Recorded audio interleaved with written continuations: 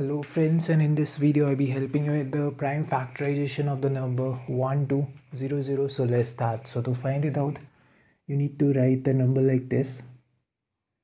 And before solving this you should have an idea about what prime numbers are. So your prime numbers are numbers that are divisible by 1 and the number itself like 2 3 5 7 and so on. All right?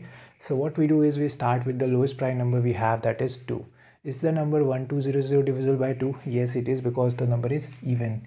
So divide it and you will be getting 600 now is this 600 further divisible by 2 yes it is also divisible because it is also even.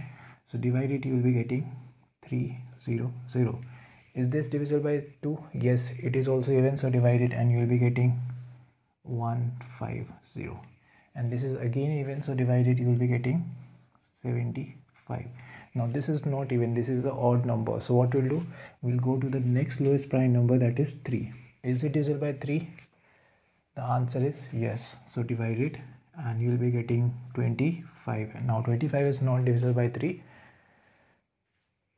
so we'll be going to the next lowest prime number that is 5 and 25 is divisible by 5 so divide it and you'll be getting 5 once you get 5 it is again divisible by 5 so divide it and you will be getting 1 once you get 1 the work is done. And whatever you have on the left hand side will be the prime factors for the number 1200 that is 2 cross 2 cross 2 cross 2 cross 3 cross 5 cross 5 uh, if you want to check whether it is right or not you can multiply it. And on multiplying you will get the number back again.